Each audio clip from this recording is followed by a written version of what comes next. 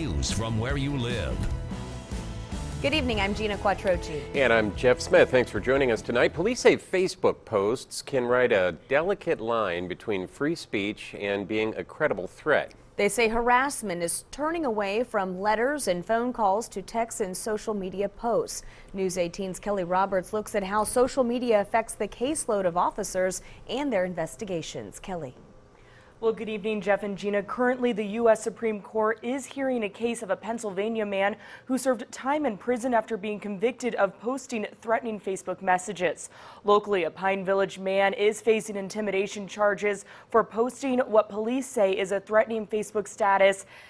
Police say social media is part of what they do every day, and it is only getting more popular.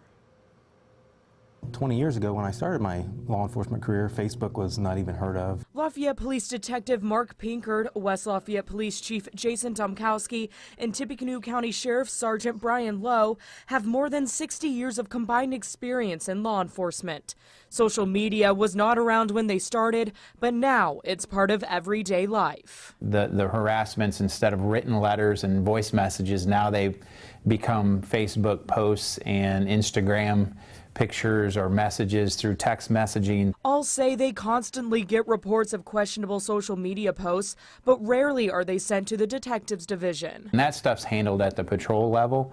Um, patrol officers will investigate those, usually make some phone calls or, or a personal visit to say, please stop. When it comes to uh, a university town, uh, or even our own uh, grade schools and high schools, a lot of those are school issues. But there are cases where a post is serious enough to be investigated. For example, Pine Village man Samuel Bradbury was arrested in Tippecanoe County after police say he posted a Facebook message threatening specific police officers and judges, as well as threatening to blow up the courthouse.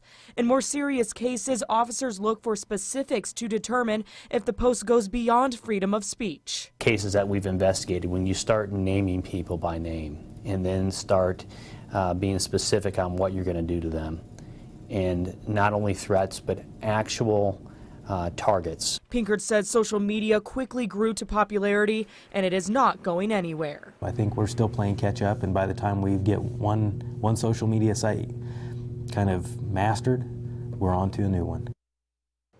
In the Indiana Criminal Code for intimidation and harassment, there are details about the crimes being committed over the internet and social media sites.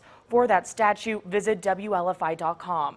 Samuel Bradbury's trial begins this month. As for the U.S. Supreme Court's decision on the Facebook threat case, that's expected by the summer. Kelly Roberts, News 18.